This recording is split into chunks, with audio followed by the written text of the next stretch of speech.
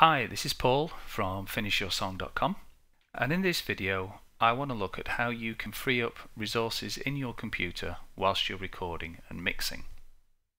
What we have right in front of us is T-RackS version of an LA2A compressor. It's a classic piece of kit and a real one would cost you well over a thousand dollars. You can buy one today off the IK Multimedia website for 80 euros.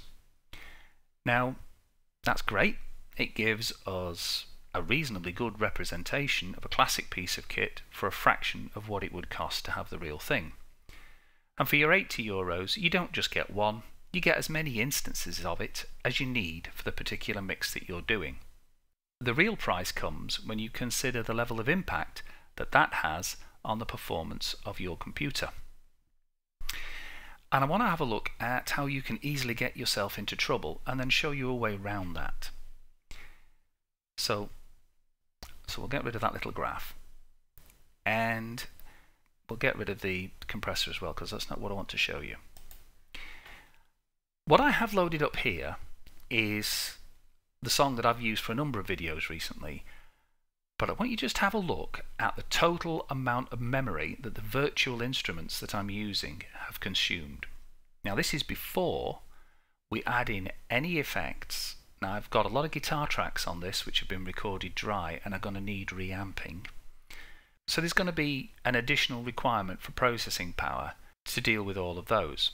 And in a future video I'm going to look at a way round that where you can go from recording to mixing and virtually reset your computer. But let's come back to today.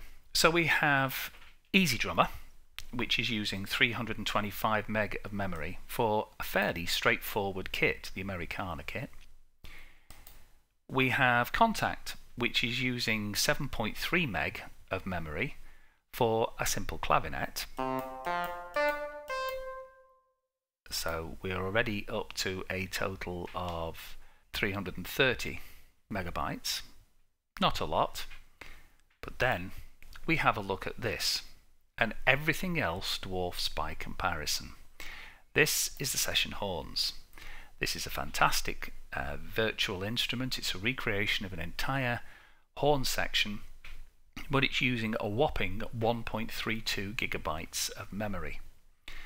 I have a backup computer which completely chokes on trying to load this lot. 1.32 gigabytes is a huge chunk of memory unless you're running something where the memory runs into double figures in gigabytes. So, what can you do to allow your computer to get round that? Well, the answer in almost all of the DAWs that I've researched lies in what Cubase calls the freeze function. And what it does is it takes your 1.32 gigabytes of memory and doesn't use it. What it does do is it creates an audio render of that performance as it stands with those settings at this moment and creates audio files. And then it plays back the audio file when you play back the song. So you save all that memory but still get the benefit of having your super duper virtual instrument. So let's have a look at how that works. Um, so we've got the session horns loaded up here and in Cubase there's this little button, the freeze instrument channel. If you click on that it says do you want to freeze the instrument only so your virtual instrument is frozen. You can freeze the instrument and the channel so any effects that you've got on are frozen. It gives you a tail size so that when it renders out the instrument, if there's any reverbs, you can determine how much of that reverb is captured in the render before it chops it off. And there, importantly, unload the instrument when frozen. So we do that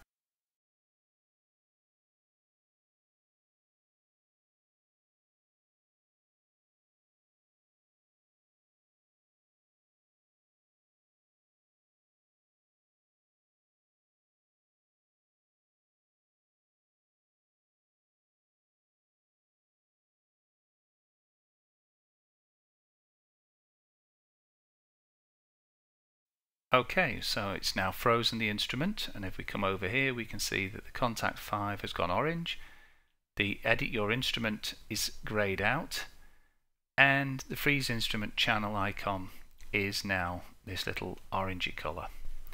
So if we just solo that and play it, you can hear that it's still the same.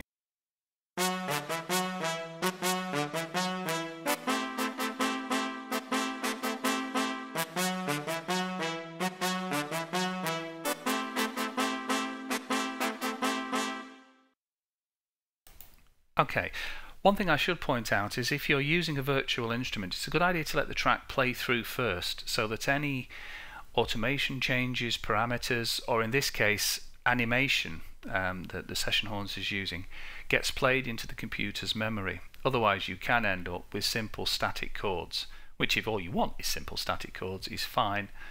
It's a good idea to let the track play through once to let any automation or animation or effects play into memory of the computer. That's a way to save yourself resources. It also obviously increases the headroom available for processing when you're recording.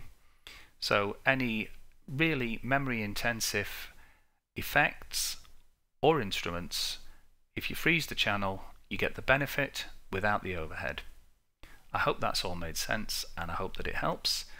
And until next time, you take care of yourselves.